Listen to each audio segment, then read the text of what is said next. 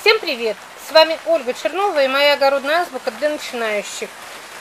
Сейчас уже пора готовить почву для посева и для посадки огурцов в теплицу. Особенно тем, у кого чуть потеплее, чем у нас в сибирском регионе.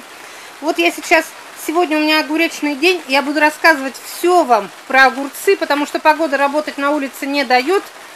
В помещении работа уже почти вся закончена.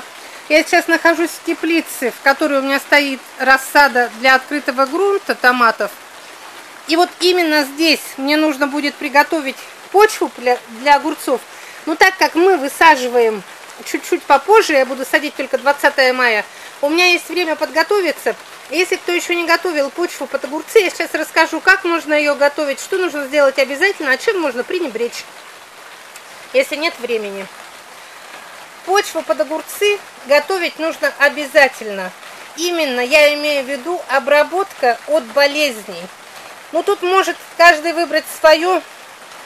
Есть же у нас и термическая обработка, самая простая, биологическая, химическая. Но все это нужно делать заранее, за неделю до посадки. Вот сейчас я, через два дня у нас будет потеплее, я эту рассаду выброшу на улицу, а здесь буду делать грядки для огурцов и буду готовить почву. Если вы не хотите никакие препараты на участке использовать, можно просто термическую обработку, то есть ошпарить землю кипятком, накрыть пленкой и подождать. 50% бактерий и микробов уничтожается, уничтожаются даже вредители при такой обработке. Но, конечно, более эффективная обработка – это биологическая, тоже без применения агрохимии, с помощью фитоспорина. Вот сейчас есть более новые средства, аллерин, гамаир и другие. Если я потом подробно о них расскажу, не буду сейчас вдаваться, но вот намного эффективнее, чем термическая, все-таки вот такая биологическая. Это профилактика грибковых заболеваний, различных корневых гнилей. Но если у вас в прошлом году здесь было какое-то заболевание, особенно если у вас погибли здесь какие-то растения от болезней, то обработать лучше, конечно, уже фунгицидами более крепкими. Многие в таких ситуациях обрабатывают медным купоросом. Медный купорос 1 столовая ложка на 10 литров воды и прям проливают как при поливе почву. Но после такой обработки желательно через неделю все-таки снова полить фитоспорином, чтобы заселить почву полезными бактериями. Потому что при вот такой медь-содержащей обработке убиваются и плохие, и хорошие, все убивается.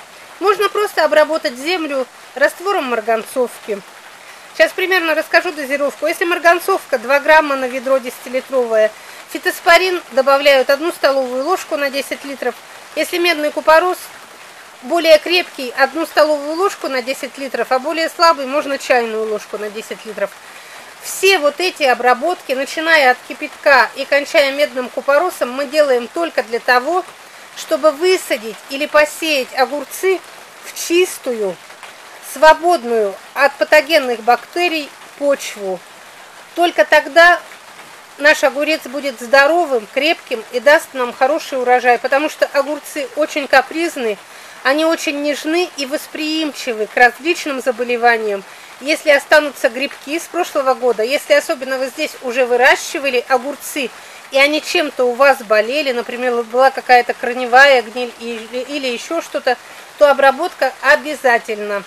Вот у меня в прошлом году уже многие спрашивали, что с моим огурцом, он растет не так, то не растет, то там у кого-то листья желтеют, у кого-то еще что-то.